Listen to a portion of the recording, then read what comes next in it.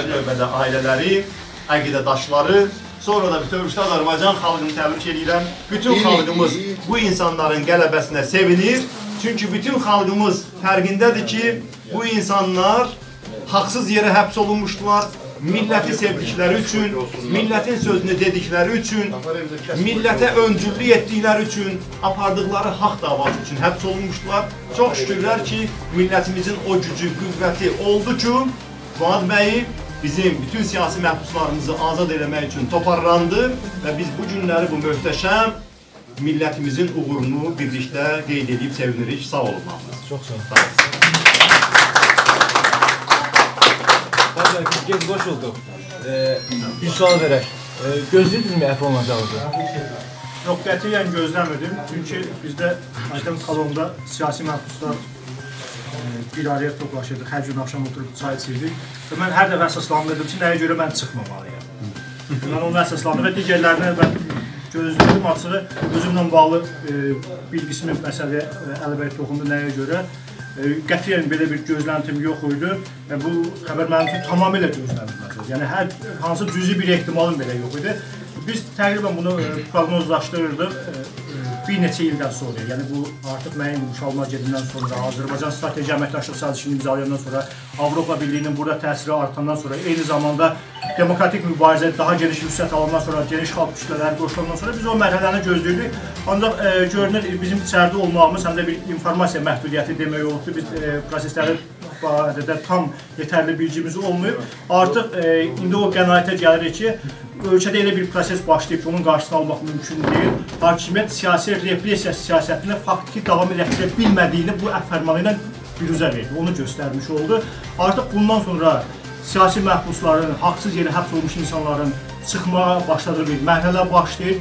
Yeni həbslərə mən inanmıram ki, bu hakimiyyət artıq gücü çalsın. Hətta olacaqsa bunlar ağılsızlıq edib belə bir addımlara atacaqlarsa, bu bunların əleyhinə işləyəcəkdir. Bu cəmiyyətdə bunlara qarşı etirazları, nifrəti daha körükləyəcək, beynəlxalq ictimaiyyətin təzyiqlərini daha da artıracaq, Azərbaycan cəmiyyətini öz haqları uğrunda mübarizəyə daha çox stimullaşdıracaqdır. Ona görə hesab edirəm ki, artıq biz yeni bir mərhələyə daxil olmuşuq və bu mərhələnin nəticəsi olaraq bu gün bir neçə siyasi məhbus azadlığa çıxıb, ancaq biz e, tam mənada siyasi məhbusların belə deyək, azadlığa çıxması üçün əlimizdən gələn səyləri davam elətdirəcəyik və ona nail olacaq ki, bugün bizim məhbəsdə olan qardaşlarımız da, dostlarımız da, əqidə e, silahdaşlarımız da azadlığa çıxsınlar və bu e, rejimin e, siyasi repressiya aparatı sındırılsın.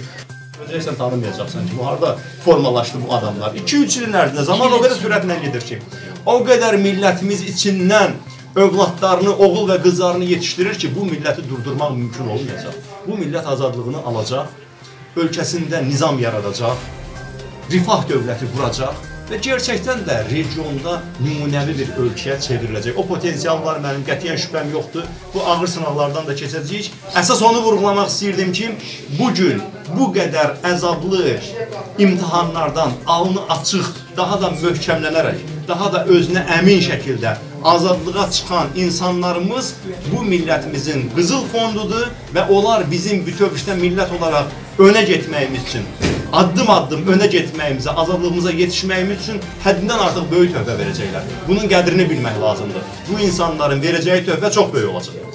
Sındırılsın. Nə qədər ki, Azərbaycanda avtoritarizm var, nə qədər ki, Azərbaycanda söz, mətbuat azadlığı məhdudlaşdırılıb, fəaliyyət azadlığı məhdudlaşdırılıb, bu repressiya aparatının qurbanları olacaqdır. Yəni, bu hakimiyyət ayaqda qalmaq üçün qorxu yaratmağa möhtacdır və artıq sübut olunur ki, bu qorxu yaratmaq siyasəti nəticə vermir, iflas olur. Mən bir replika, rep, replika kimi atmaq istəyirəm. Biz azadlıq meydanını inşallah azad eləyəndən sonra bütün siyasi məhbuslarımızı da azad eləyəcəyik və Qarabağı da azad eləyəcəyik. Ona görə öncədən azadlıq meydanının azad edilməsi haqqında fikirləşməliyik ki, necə ki azadlıq meydanı məhbusdadır, bizim siyasi məhbuslarımız olacaqdır, Qarabağda işğaldan azad olunmayacaq. Ona görə mənim o bir uzun şeirim var, bir bəndini demək istəyirəm. Deyir, Dərya tək dalğalanıb haydi girək meydana biz azğınların üstünə gedək tufan tək düppədüz el gücü, sel gücü zalimları çöktürübdüz Azadlıq meydanında bir daha dura üzbəyiz. Girmişəm mən yenə də meydana əynimdə kəfən, kükrəyib qalx ayağa, millət əldən getdi vətən. Azadlıq meydanı azad olanda təkrar bütün Azərbaycanda bir dənə də siyasi məhbus olmayacaq və Qarabağda şaldan azad ediləcək. Ona görə azadlıq meydanının azadlıq uğrunda biz e, milli birliyindən mübarizə aparmalıyıq. Fuad bəy, e, mən bəyin üzr istəyirəm, dediyinə bir dənə cüzə əlavə edim ki, bu gün bizim qarşımızda duran vəzifə bütövlükdə ölkəni azadlıq meydanına çevirməkdir. Bu gün bu rejimə qarşı mübarizənin mərkəzi təkcə Bakı şəhəri olmamalıdır. Çünki təkcə bu xalqa zülm Bakı şəhərində olmur. Bu ölkədə haqsızlıqlar təkcə Bakı şəhərində yaşamır. Bütövlükdə ölkədə həyata keçirilir. Ən ucqardaq kəndimizdən tutmuş paytaxta qədər hər yerdə eyni siyasət həyata keçirilir, eyni qanunsuzluq, eyni özbaşınalıq, eyni zülm siyasəti həyata keçirilir. Ona görə də Bu gün əzilən bütün vətəndaşlarımızı biz ona çağırırıq ki, haqlarına sahib çıxsınlar və təkcə Bakıda olmamaq şərti ilə bütün ölkə miqyasında insanlar öz haqları uğruna mübarizəyə başlasınlar və hər yerdə, hər e, bizim bölgələrimizdə bu proses vüsət alanda artıq hakimiyyət də bu reallıqla barışmalı olacaq. Fuad bəy, sizin gözəl xanım Zümrüd xanım dedi ki, Fuadın bir günahı yoxdur ki, əf üçün ərizə yazsın. Hazırda biz Əli İnsanovun da ə, həm məhbəsdən çıxanda ondan da müsahibə götürdük. Ona da sual verdi. O dedi ki, mən əf yazmamışam. Siz əf ərizəsi yazmısınız? Gülnaz xanım, mən əfvi yalnız Allahdan istəyirəm. Hər birimiz bəndəyik çünki günahlarımız var, o günahların bağışlanması üçün. Biz hər hansı bir e, cinayət əməli törətməmişik ki, cinayətkarlardan da əfv edək. E, siyasi fəaliyyətinizi davam et, etdirəcəksiniz. Mən qaldırım yerdən davam Davam edəcəm. edəcəksiniz. Təşəkkür edirəm. İnsanları mitinqlərə çağırıbsa, ondan çəkinməyibsə, indi azadlığa çıxandan sonra o sualın heç yeri yoxdur. Təbii ki, Fuad bəy mübarizənin ən önündə olacaq. Təşəkkür edirəm. Təşəkkür Anadolu çağırışları Gözəl xanım, Seymur bəy, bugünkü bu tədbirin iştirakçısı Məmməd bəy. Yəni bizə o gedişdə qətiyyən nə apardığımız yola, nə apardığımız mübarizəyə yaraşmayan yanaşma. Cəbhəçi xarakteri belə bir əfv. Sualların içində təxribat sualları.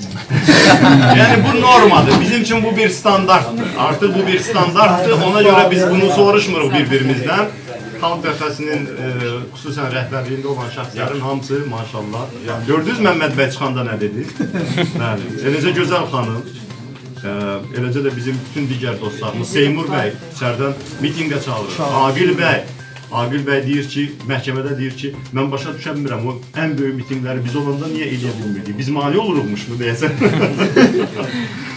Bizim bütün dostlarımız hamısı bir fenomen yaranır. Bir fenomen yaranır. Bax bu indi bir keçid dövrü biz yaşayırıq. Əslində indi indi Azərbaycan artıq bu formalaşmış avtoritarizmdən artıq silkələnib, tərpənib demokratik hərəkat vasitəsilə yenidən respublikaya, cümhuriyyətə qayıdış mərhələsinə start veririk. Və bu mərhələdə bizim ən böyük millət olaraq resurslarımızdan biri artıq möhkəm, əqidəli, savadlı, geniş dünya görüşlü o qurucu babalar olmasaydı, xalq cümhuriyyət ola bilərdimi? İndi də bax o yenidən o cümhuriyyətin bərpasının təməli atılır. İndi hər cür sınaqlardan keçən, hər cür təhlükələrin üzərinə dimdik gedən, istənilən təhlükədən güclənib çıxan, heç bir təzyiqin, repressiyanın sındırmadığı, daha da kamilləşən, müdrikləşən, siyasi təcrübəsi artan bir təbəqə formalaşır. Ölkənin siyasətçilər təbəqəsi formalaşır. Ələnir, ələkdən keçir. Əlbəttə keçə bilməyənlər də olur. Əlbəttə ki, özünü doğrultmayanlar da olur. Bu da təbii prosesdir, normal yanaşmaq lazımdır. Amma görün, nə qədər bütün bu sınaqlardan üzvaq çıxan, daha da möhkəmlənərək, daha da mətinləşərək çıxan insanlarımız var və bu millətimizin qızıl fondudur. Bu insanlara elə belə baxmayın. Deməli, baxın, məsələn indi konkret olaraq bu saat indi e, Fuad bəyin qarşılayırıq, evində, ondan söhbət gedir. Siz biləsiz, yeniyetmə ikən adam mübarizəyə qoşulur. Yaşı çatmır. Xalq cəbhəsinə qoşulanda yaşı çatmır. Birinci siyasi məhbusluğunu 22 yaşında yaşayır. Və o zaman 22 yaşında gənc, indi mən az qala deyəcəydim uşaq. 22 yaşında gənc nəyə görə tutulub? İndiki gənclər bilmirlər. Yazdı. Müxalifətin miting taktikasını yazdığına görə. Müxalifətin miting taktikasını 22 yaşlı bir gənc belə bir yazı yazmışdı. Yazı 98-ci ildə hökumətə necə od qoymuşdusa, tutmaq xalq cəbhəsinin ayaqda qalması üçün, hökumətin bütün bu bizə qarşı olan hücumlarını durdurması üçün dayanmadan, yatmadan, dincəlmədən mübarizə. Ondan sonra həbs, həbsdən içəridən insanlara stimul vermək, şəxsi nümunə göstərmək və bu gün də həbsdən çıxandan sonra heç bir tərəddüdsüz, heç bir tərəddüdsüz ortaya qoyulan mövqe biraz bundan qabaq qarşıladığımız gözəl bayramlı Azərbaycanı qarış-qarış gəzib. Azərbaycan Xalq Cəbhəsinin qurulmasında fenomenal bir xidməti, Azərbaycan xalqının ayaqda qalmasında fenomenal bir xidməti olan adam məhbəsdən cəsarətlə xanım siyasətçi mitinqlərə çağırıb. Və bu gün də elə həbsdən çıxan kimi birinci sözünü artıq mövqeyini bildirdi. İndi bizim üçüncü müavinimiz həbsdə qalır. Teymur Həzi az qalıb onsuz da. Artıq 5 ildə həbsdədir. İlham Əliyevi öz yazılarında yerdən yerə vurduğu üçün həbsdədir. Bu bir sir deyil ki, öz analitik yazıları ilə, Azərbaycan saatındakı yazıları ilə Azərbaycan hakimiyyətini tamamilə ifşa eləmiş adamdır. O da çıxacaq Allah qoysa və bunların hamısı adını çəkmədiyim bütün başqa dostlarımız millətin resursudur. Millətin vitrinidir, millətin elitasıdır. Əsl elita bu adamlardır.